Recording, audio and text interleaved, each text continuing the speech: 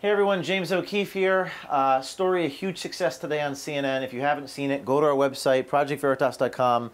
American Pravda series, CNN producer saying that the Russia narrative is all bullshit. He says a witch hunt against Trump. This is CNN talking. And I want to point something out to you. Back in January, I said we were going after the media. I'm going after the media next. This is the first day of that series.